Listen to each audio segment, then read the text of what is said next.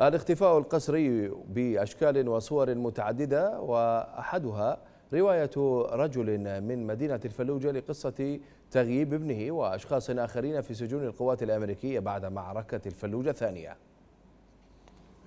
2004 مال مالت الفلوجة الثانية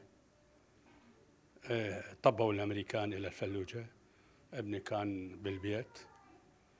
وشباب كثيرة من الفلوجة كانوا قالوا من نطلع من بيوتنا. ليش نطلع من بيوتنا يفرهدوها وهالمشاكل اللي تصير؟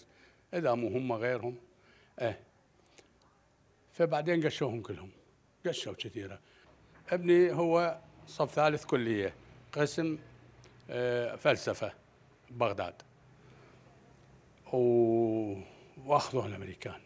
قشوا ويا الدنيا هاي قمت انتظره أنتظره ما ما ما جاني. ما اجى فالنوب فاجزت من الورا ما خليت.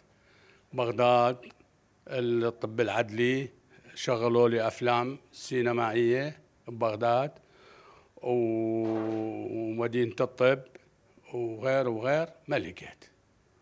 الدعوة آخر شيء قبل كم شهر أه وفوه اي يعني صار متوفى.